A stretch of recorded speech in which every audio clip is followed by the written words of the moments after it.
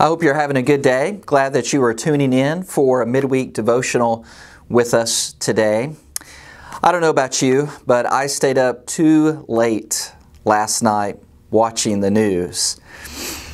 And today, here in the church office, as I'm thinking about a personal devotional time, reading scripture and, and praying, I decided that I really need to focus on ministry, the work at hand, the good ministry that we're doing here at the Northside Church of Christ. Robbie Daniel, our youth minister, and I met recently and talked about some goals and some plans and strategies for ministry for the year ahead in 2021 as we come near the end of the calendar year. One of the things that we do is to think about planning curriculum, events, activities, various things. We recently had an elders, deacons, ministers workshop on Zoom where we talked about different ministry plans and vision for the future. And so today I've been thinking about that and thinking about just serving in God's kingdom, not getting distracted with all of the things that are going on in our world and allowing that to to cause me unrest or anxiety. But you know, I really need, and I'm preaching to myself, I really need to focus on the ministry that God has assigned me in this place, in this present time, for His glory. And as I'm thinking about that, I'm reminded of the passage in Ephesians chapter 4, which talks about equipping. We want, as Christians, to be equipped for ministry, equipped for service, equipped for work in the church of Christ in the kingdom of God. Give attention to the reading of Ephesians chapter 4, verses 15 and 16.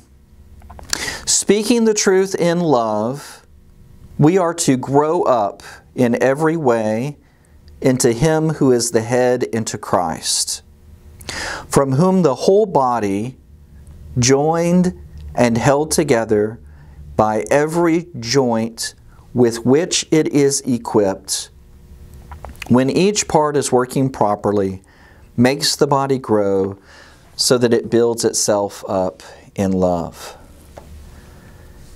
You know, our desire is that every member, every Christian, every believer be equipped for service in the kingdom of God. This passage here in Ephesians chapter 4, we have a picture of a healthy church, a church where the whole body joined and held together by every joint with which it is equipped. It says when each part is working properly, it makes the body grow so that it, it builds itself up in love. Notice again that the whole body, not piece, part, portion, but the whole body, every member, is equipped for the purpose of upbuilding.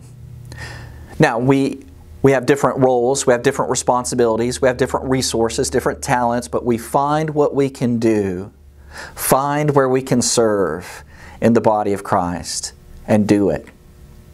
So, you know, we want to be more than comfortable Christians who are content to sit and stare.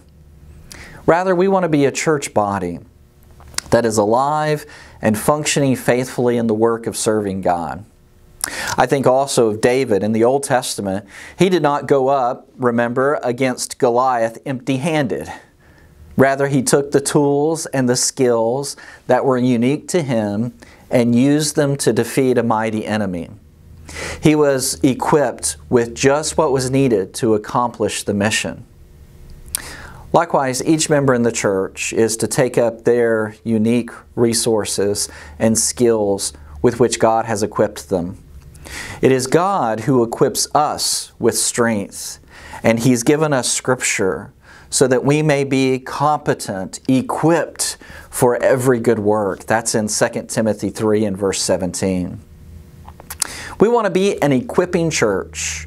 We want to be a church with unity that uses every resource and talent for God's glory. We want to be a church with zeal that is eagerly engaged in the overall life of the congregation, refusing to get pulled away or distracted by other matters that may be all around us in the world. Let's not forget our mission, our role, our work, our service in the local congregation, the local body of Christ, where the Lord has placed us. And so we want to be a church with maturity that is able to effectively carry out the work of ministry.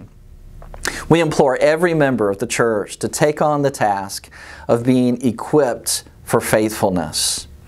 As uh, I conclude sharing with you this devotional thought, I do want to draw our attention as we wrap up to the book of Hebrews in chapter 13. This is another passage that I think is very helpful and instructive in its uh, teaching about being equipped for service in God's kingdom. Again, Hebrews 13, 20, 21. Let me just end with this reading and then a prayer. Now may the God of peace, who brought again from the dead our Lord Jesus, the great shepherd of the sheep, by the blood of the eternal covenant, equip you with everything good, that you may do His will, working in us that which is pleasing in His sight, through Jesus Christ, to whom be glory forever and ever. Amen. Heavenly Father, we are so thankful for your wonderful blessings. Help us to be faithful in the work that you have assigned us. Help us to be responsible for the ministry assignments that we've been given. And Heavenly Father, we do pray that you will bless our nation, that you will bless every leader of this country and every world leader. And Lord, we pray that you will bless the leaders of each local congregation, each church family. Uh, be with every church member. And again, as we think about our nation, be with every resident. Uh, we ask that you will grant wisdom and courage to all of our government officials, that they would pursue what is good and righteous. Lord, we pray that uh, you will help us to look for those opportunities providentially that you place before us to model faith, to model Jesus for a watching world to see, to speak a, a word of encouragement, to share the story of Jesus. Strengthen us to be faithful to you in every way. Help us to be salt and light. Lord, bless uh, those that are struggling perhaps physically or spiritually or emotionally. Minister to us out of your grace and strength, and we pray for your help and your continued provision. Uh, we give these concerns to you, and we, uh, above all, give thanks for your goodness and your glory, and for Jesus Christ, who died and rose so that we have hope, so that we have redemption, so that we have the promise of eternal life, and, O oh Lord, so that we are equipped for service in your kingdom. We pray in Jesus' name. Amen. Hope you have a great rest of the week. Take care. See you later.